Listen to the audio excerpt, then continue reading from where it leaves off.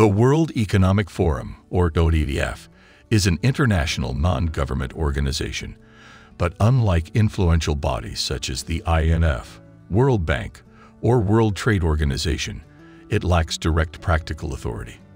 Despite this, it annually draws some of the most influential figures in economics, policymaking, business, entertainment, religion, journalism, and politics to its summit held in Davos, a quaint skiing town in Switzerland.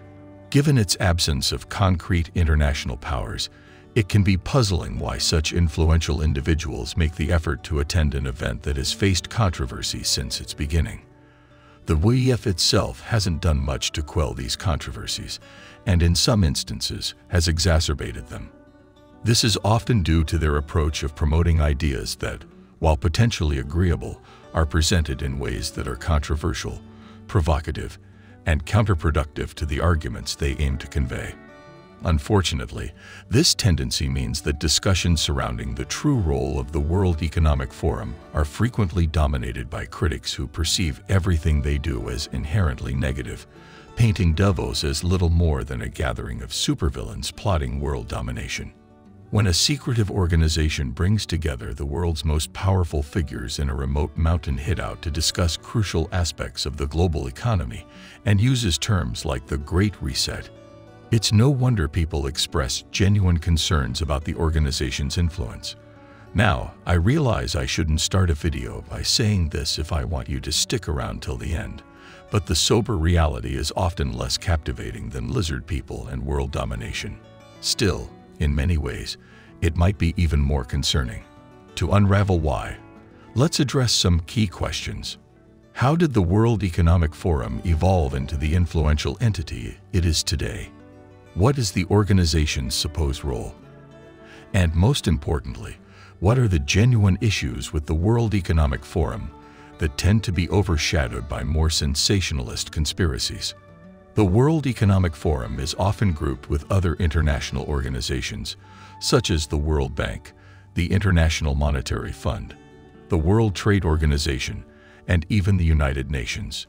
These are substantial entities that play crucial roles in global macroeconomic, geopolitical, and social issues, although not always in immediately discernible ways. Despite their similarities, these organizations conduct independent economic research, offer advice to policymakers, employ numerous economists, and operate as ostensibly impartial intermediaries between national governments. What sets the World Economic Forum apart is its origin. Governments didn't establish it, and it doesn't rely on government funding. For instance, the World Bank was formed by a delegation of 44 countries after the Second World War and now boasts 189 member countries, all contributing to the organization's funding through their national budgets to varying extents. While some less affluent member countries may contribute nothing, wealthier nations like the USA contribute significantly. This particular organization, the World Bank, allocates the funds it receives with the goal of providing loans to developing economies. The purpose is to enable these nations to invest in infrastructure and tools, fostering their integration as productive members of the global economy. The World Bank's explicit and public objective is to support developing economies in making strategic investments, while they also engage in activities such as collecting economic data, much of which we use on this channel, particularly when discussing GDP figures. These efforts primarily serve to fulfill their primary mandate of providing funding to developing economies.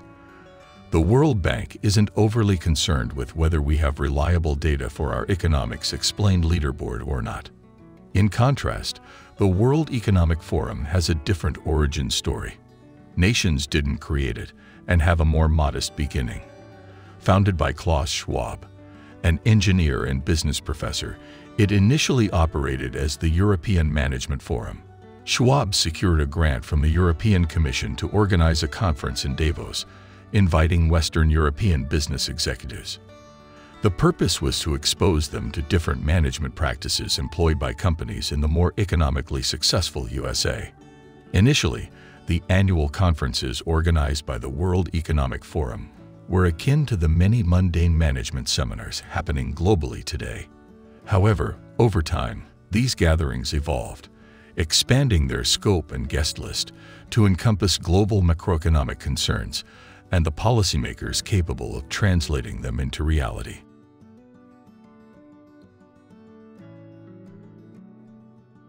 Many politicians and policymakers don't have an economic background.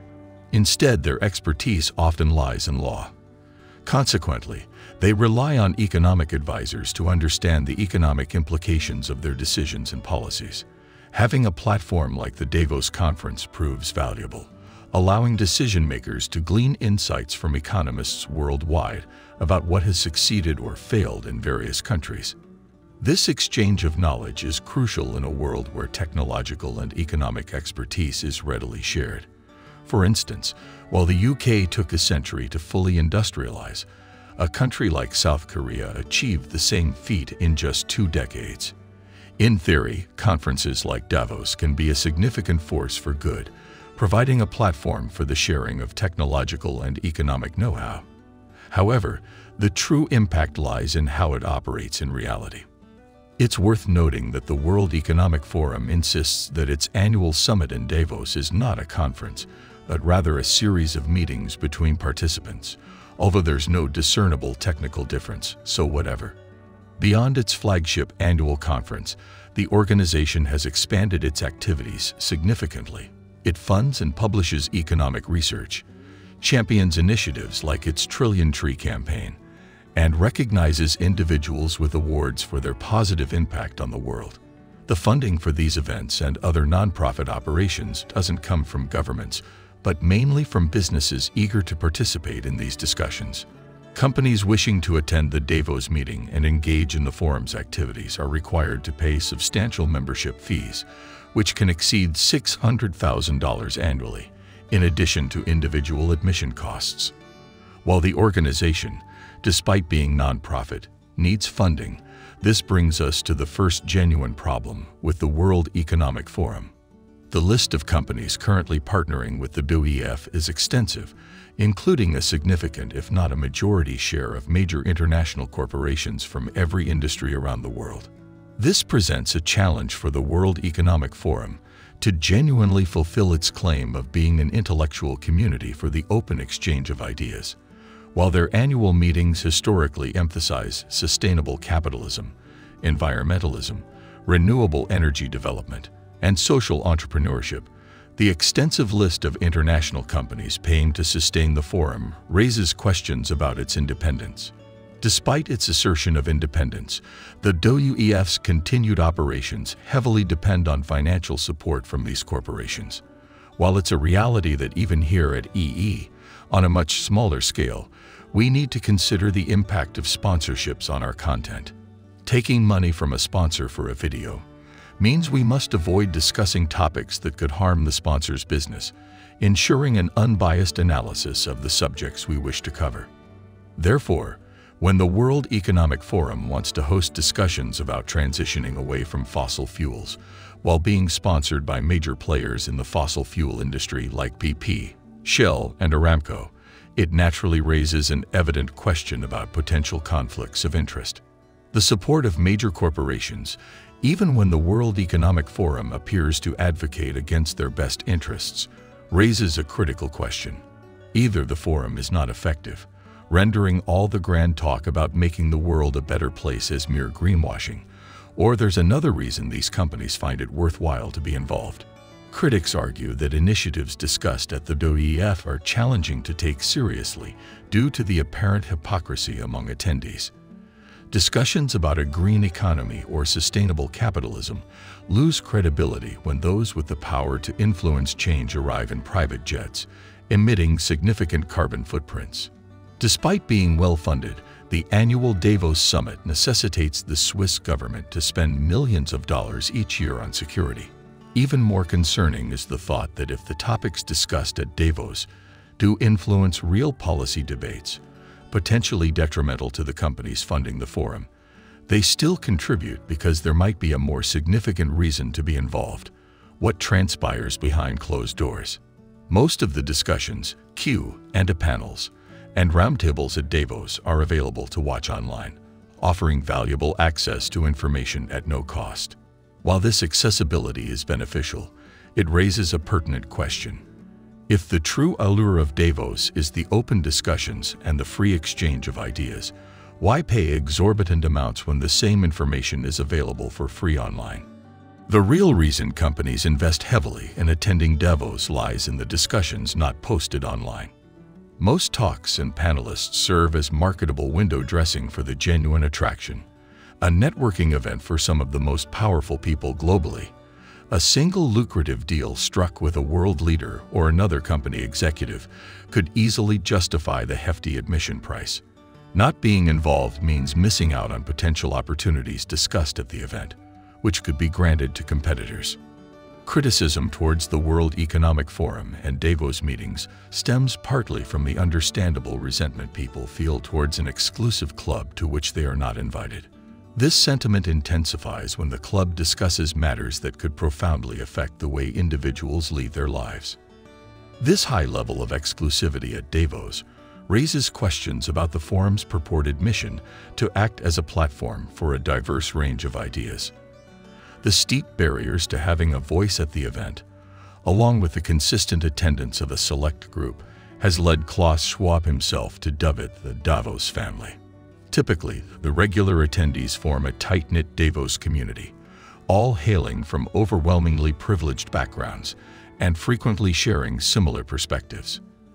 The challenge with this exclusivity is that the same people, in the same location, and from the same privileged backgrounds are unlikely to offer the broadest ideas, opinions, or objectives, especially those that align with the concerns of regular people. While they could lower the barriers to entry, the forum is reluctant to do so, as its major partners are more interested in a place to lobby than a platform to address the challenges faced by working-class families.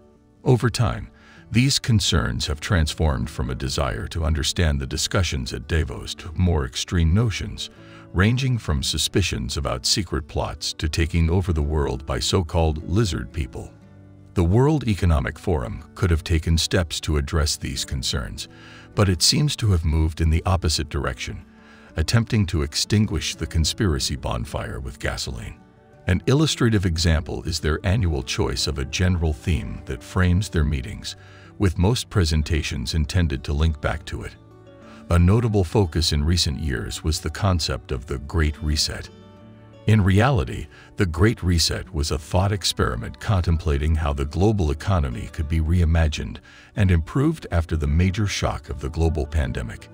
Given the magnitude of the global disruption, it was similar to a reset to the system, offering an opportunity for participants to discuss innovative ideas that could yield real benefits. Implementing such changes, however, would be challenging during regular economic operations. Much like making significant modifications to a car, which is usually turned off for such work, an economy cannot be easily turned off. The uniqueness of the situation made it an opportune time for discussions. The World Economic Forum needs to keep its attendees engaged to maintain their interest and attendance, and it relies on the participation of influential figures to remain relevant. The concept of the Great Reset, introduced by the World Economic Forum, appears to have been more of a clickbait for the global elite than a substantive exploration of economic discussions.